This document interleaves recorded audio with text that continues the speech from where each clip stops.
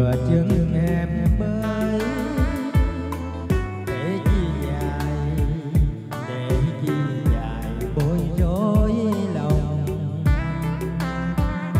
Để cho anh thao thức ai hoài. Đêm mãi dập dờ ngày ngất với chim bao. Gió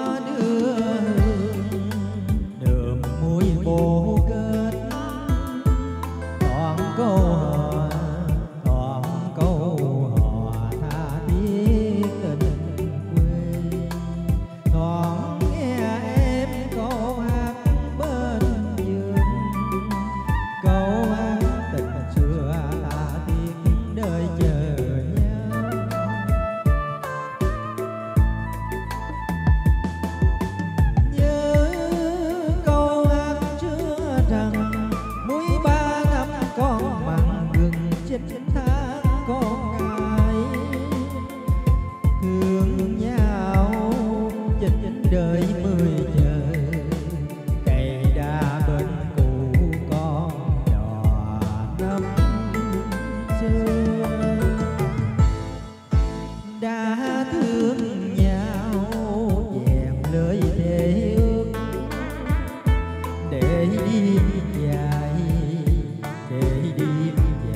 ดู